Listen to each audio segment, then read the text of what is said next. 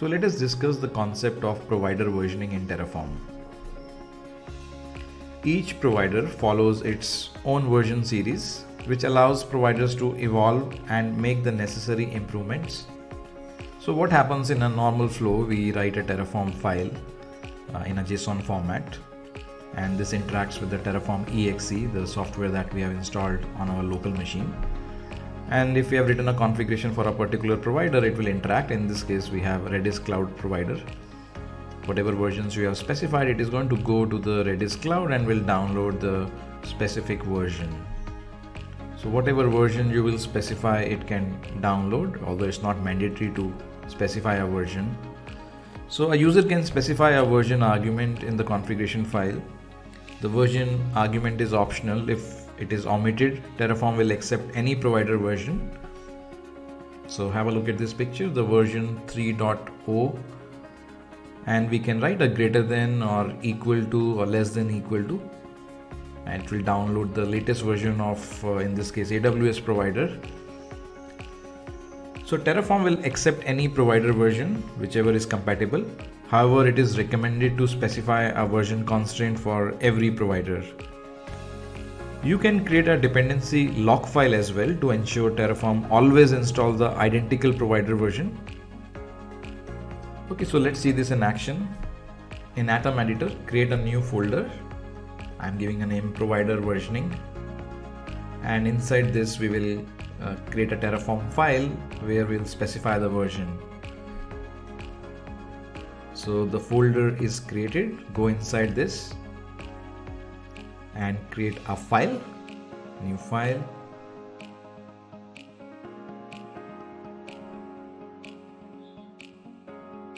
Provider versioning.tf is the name I'm giving here. And we'll write our configuration from scratch. So let's see where do we write the version. So first of all installing terraform and specifying the resource the provider version here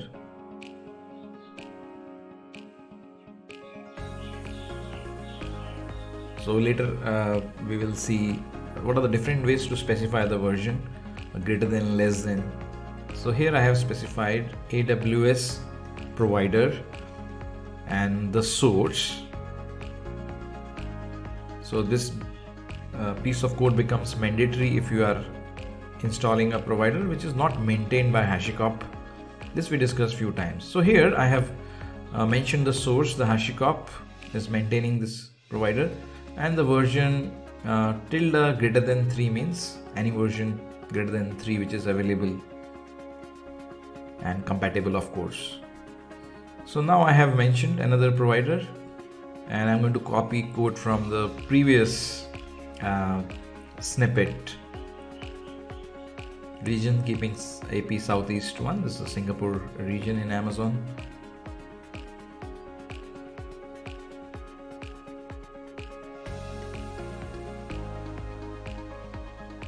going to the Terraform registry, uh, you can take a sample code from this uh, use provider.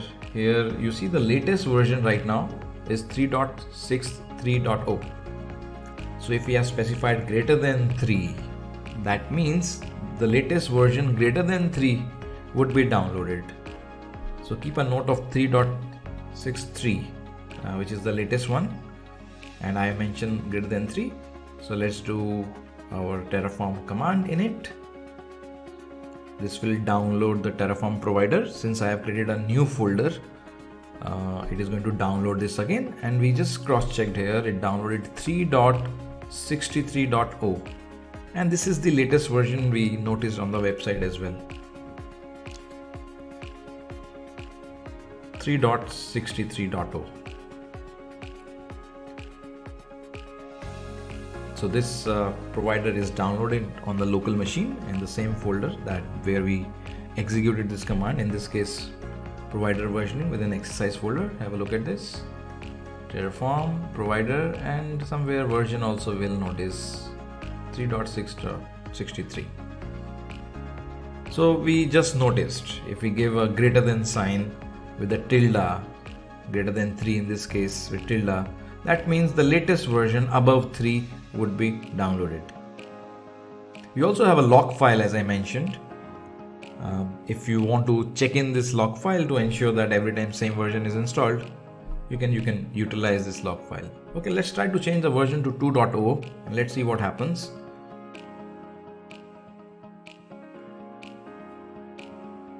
Again initializing and it has given an error that failed to query the available provider package. Could not retrieve the list of available version because there is a mismatch. So the latest version available is 3.63 and what we have specified here is a 2 series. So of course this is not going to work here. Okay, so we have to remove this lock file because once the lock file is created, it will adhere to that specification. And now since there is no lock file, it is going to download the dependency from beginning since we have given 2 it will download the latest version of Terraform above 2. So you will notice the latest compatible version in the version 2 series is 2.70 and that would be downloaded and you can see this and cross check this in a lock file. So the lock file is also created as soon as you execute uh, your Terraform init. Okay, let's do some experiment and check other scenarios. I'm giving 2.5 which means greater than uh, 2.5 version. And let's see what happens Terraform init. Okay it says uh, using the previously installed so that is already adhering to uh, what we mentioned. Let's uh, give less than equal to 2.50 so definitely a version less than 2.50 would be installed and if you will not delete the lock file it will again give you an error because it will load the libraries or the versions from according to the lock file which gets created. So after deleting the lock file running it again and it will download the version less than 2.50 or equal to as well we have mentioned. Okay download is completed. Let's cross check you can check in the lock file and you see the version which is downloaded 2.50 and of course it is adhering to the syntax that we have mentioned which is uh, 2.50.0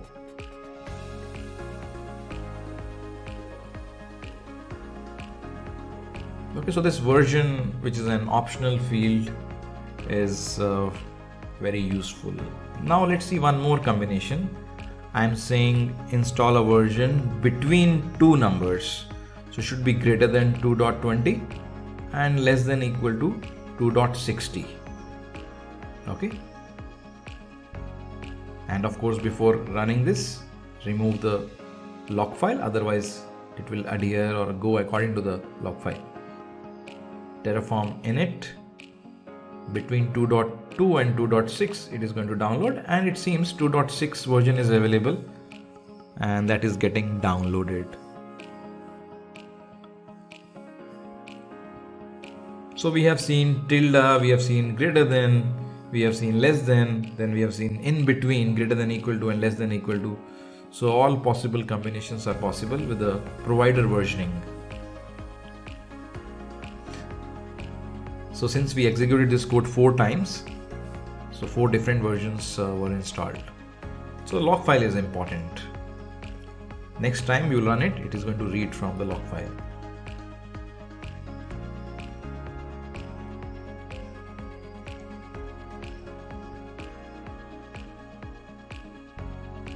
Go to atom editor. Again the provider versioning file. And now um, let's try a different combination with tilde again the first one we started with. And I mentioned 3.0 and this is going to download the latest version above 3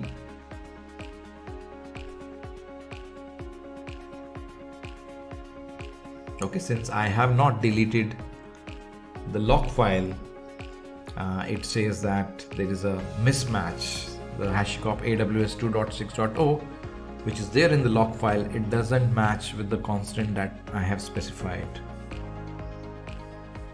So how to deal with this? One way, of course, you can delete the lock file and the other option, the second option we are seeing for the first time, we can run an init upgrade